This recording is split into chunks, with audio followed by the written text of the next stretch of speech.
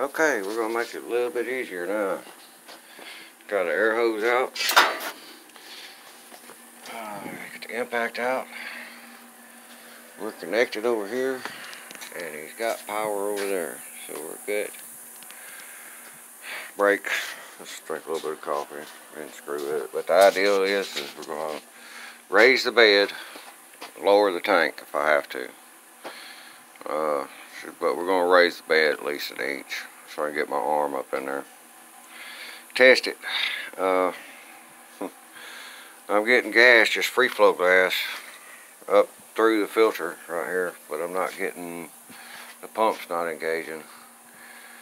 So I'll have to go from there, but this there's an issue in here, right here on these, and I forgot what it was. It was the uh, HIHD lamp LP and it's a right and then a left.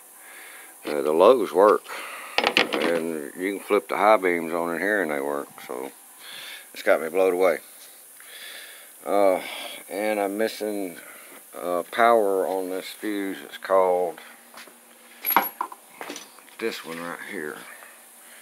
Oh, uh, 50, it's a 15 amp VEH vehicle and then CHMSL which that's on this panel right here right there.